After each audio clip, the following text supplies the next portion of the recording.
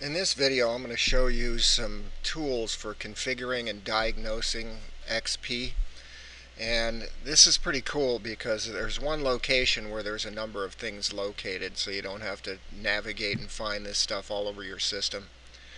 Go to the start menu, run, then type in msconfig, click OK. Then up here on there's a tab that says tools and under tools it's got all kinds of cool stuff like about Windows and you click launch to run any of these.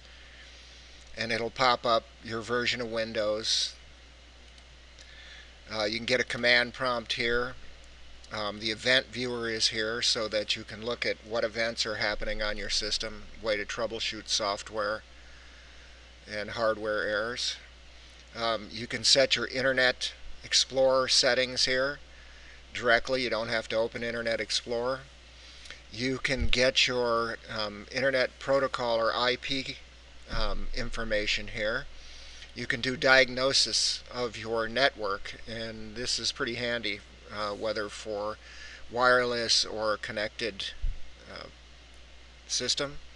Here's where you can add and remove programs. Normally this is in uh, another location the registry editor, I don't suggest you get in there and play with this unless you really know what you're doing.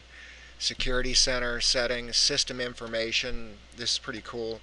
If you want to know uh, what your system actually has as far as hardware, software, your internet settings, it's got some real detailed stuff in here.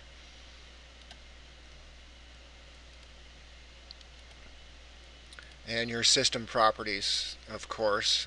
Uh, you can do your system restore from here and also load task manager. All good stuff